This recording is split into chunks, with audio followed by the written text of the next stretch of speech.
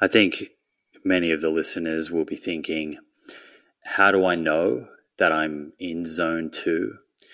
And there are a lot of different calculations online. There are running tests, there are lab tests, etc. How do you encourage people to think about this? Yeah, that's a great point.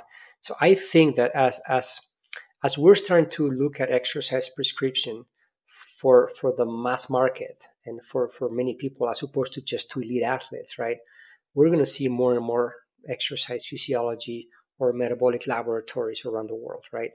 Uh, and, and, in fact, it's happening, right? Until recently, uh, there were very few laboratories around the world who who did this test to specifically find out your training intensities, right, based on heart rate or power output, right?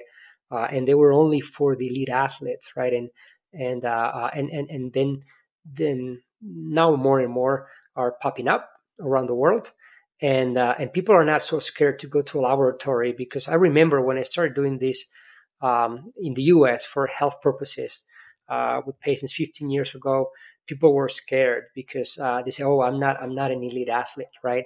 or they would see a cycling jersey of a, of a, of a runner's jersey on the wall and say, I'm not one of those, right?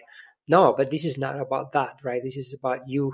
And so, anyways, that that that those laboratories uh, and those testing they're becoming more sophisticated, and people running those tests, uh, they're, they're more and more professionals.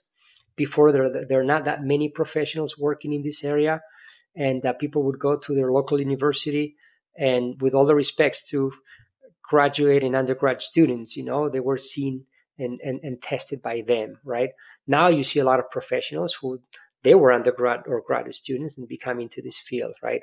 Um, so that's on one hand, but um, but there are people out there that they cannot find a place, right? Uh, there, there's not a laboratory in their town, or maybe it's too expensive and they cannot afford it, right? So for those, um, and from my experience, right, uh, I think that um, the, the, the, breathing and talk test, it's a great way. Uh, and, and I'll explain it. So, like, like when you and I talk like this now, when you can um, uh, maintain a conversation like this, you're in your zone one. You're recovering. You're you're not stimulating much, right? Zone two, uh, it would be um, like a um, a hard conversation to to maintain right? If you if you if, if you imagine yourself exercising with someone else, you could maintain a conversation, but it will be costly, right? You will be talking with some difficulty, but you could maintain it, right? Not for a long time, not not not for one hour, because it would be oh too too uh, fastidious, right? But you could maintain it. That would be kind of what we see the results in the laboratory, and it kind of corresponds to that, right? And then uh, zone three would be a, a, an exercise intensity where it's it's very difficult to maintain a conversation. Very difficult. Just just exchange a few uh, phrases or a few words, right? Um, then zone four, no conversation. That's it. You know, uh, maybe one word you can say. You know, and then zone five and zone six, yeah, there's no there's no possibility, right? But I think that, and I honestly, and and and I know it might sound old school, but we have now uh, watches and, and, and all these uh, algorithms, you know, that gives us zones, you know, that, that the immense majority are, are, are, are far away from, from, from uh, giving you the right intensities because the, the, those algorithms are, are, are not individualized yet.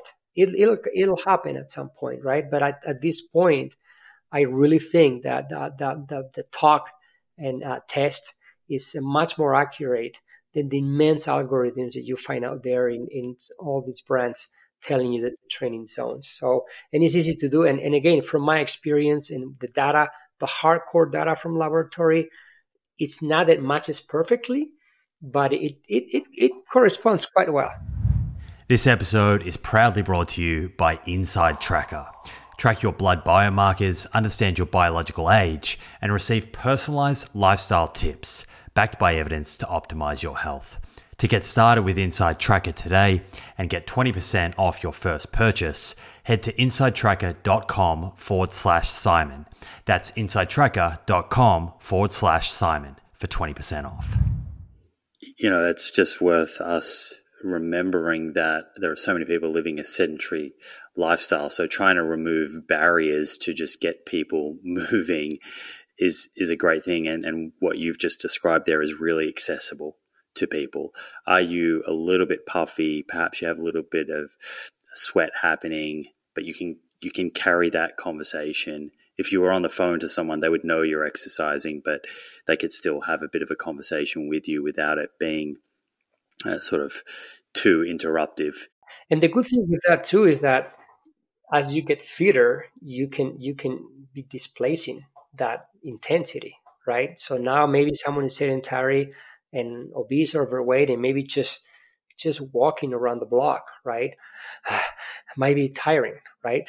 But that might be the zone two, for example. But maybe in one year, that person can do like a, a brisk walk, right, and be at that same intensity right? So that, that's what uh, you can guide yourself through this simple test, right?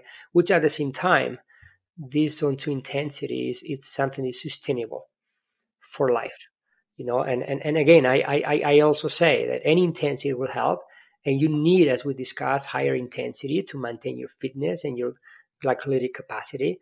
And obviously, we haven't talked about um, um, uh, resistance exercise, which is very important, right? And you know more than than I do. Uh, uh, but the thing is, like, yeah, just when when when it comes to both exercise and diets, you know, I I always ask people who do these extremes, extremes exercise routines and extreme diets, and they have great results. The immense majority are just temporary because the immense majority go back to where they were. And when you ask them, can you do this for the rest of your life? The answer is no. So if you cannot do a, a, a diet or an exercise for the rest of your life, it's not going to work. So you need to have some sustainability both in your nutrition and both in your exercise. And when it comes to exercise, a zone two is something that anybody can can do for the rest of their lives. You mentioned some of those algorithms, and I think the most crude sort of calculations that are out there are uh, using max heart rate 220 minus age, and then kind of just multiplying that out by the various intensities of the different zones and perhaps a, a step better there's ca- calculations like the Karvonen formula which I'm sure you're familiar with that uses heart rate reserve.